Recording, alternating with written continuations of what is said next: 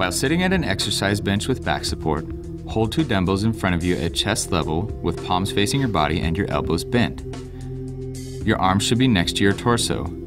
The starting position should look similar to the contracted portion of a dumbbell curl.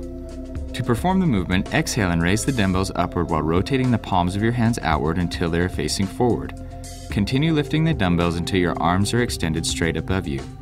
After a brief pause at the top, slowly lower the dumbbells to the starting position by rotating the palms of your hands toward you.